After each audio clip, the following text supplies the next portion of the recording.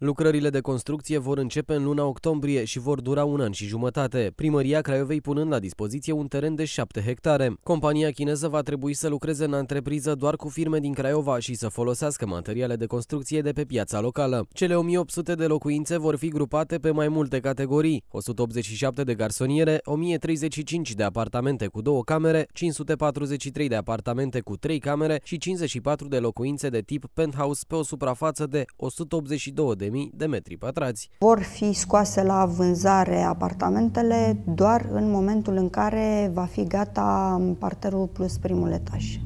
Până atunci am fost cu toții de acord că nu trebuie să scoatem la vânzare.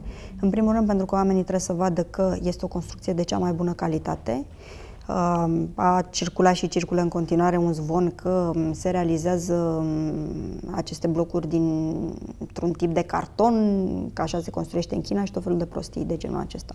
Noi vrem ca oamenii să poată să vină în cartier, să vadă exact ce tip de materiale uh, sunt folosite și abia după să hotărască dacă vor cumpăra sau nu un apartament acolo. Până în prezent au fost înregistrate la primăria municipiului Craiova circa 1200 de cereri pentru o locuință în cartierul de pe Caracal. Apartamentele cu două camere vor avea o suprafață cuprinsă între 65 și 76 de metri pătrați, cu prețuri cuprinse între 29.000 și 37.000 de euro. Apartamentele cu trei camere vor avea suprafețe cuprinse între 99 și 129 de metri pătrați, iar prețul este între 44.000 până la 57.000 de euro. Cei care doresc să cumpere apartamentele în rate vor plăti un avans de 3.000 de euro, primăria orașului făcând o primă selecție a doritorilor. Cartierul chinezesc va fi dotat cu piscină, farmacii, grădiniță, centre comerciale și parcări supraetajate.